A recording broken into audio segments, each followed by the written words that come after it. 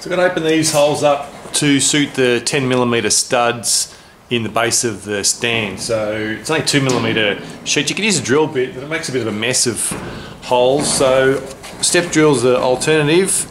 Um, these aren't cheap. I think this was about $60. Um, it's a good one though, it's Bosch. So it should last me forever. But uh, much better tool for smashing out holes in thin sheets. So hole step drill is the go.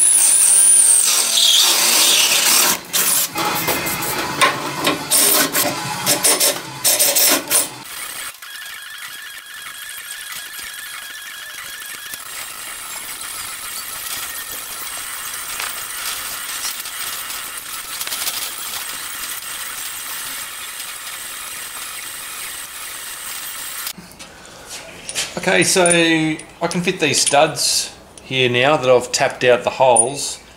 I was going to cut the heads off and just thread them in, but I don't think there's any point. I may as well just thread them up from the bottom and just bolt them up hard against the head of the bolt.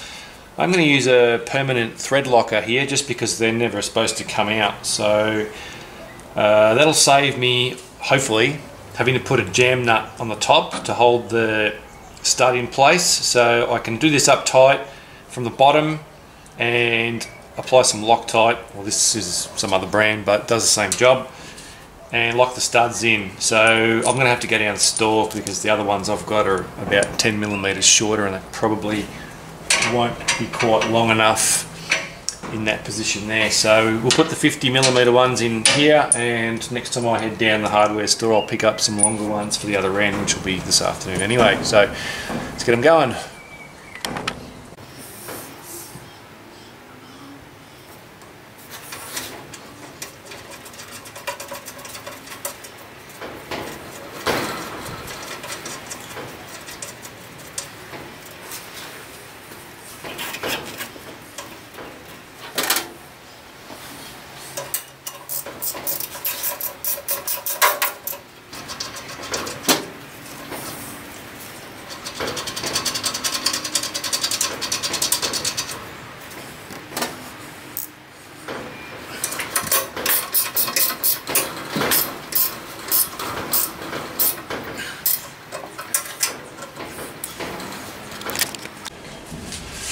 Okay, it's 3.30 on a Saturday afternoon, which normally means it's time to do more thinking and some drinking.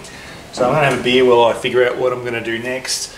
But the general idea was to have a tray in here that would collect any splashed coolant and then I could drain it back into my bucket down the bottom here. So I'm trying to figure out how to do this easily and relatively cheaply. So I've just bought some plumbing fittings. This is a 40 millimeter sink waste, or plug and waste they call it, for a sink.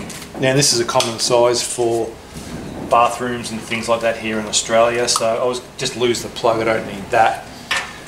But I could use this on my tray and some 40 millimeter plumbing fittings and this is really cheap. You know we're talking cents maybe a dollar for some of these fittings. And that'll sit in the tray and then I can drain this back into the bucket which you can just see the corner of it in the screen there.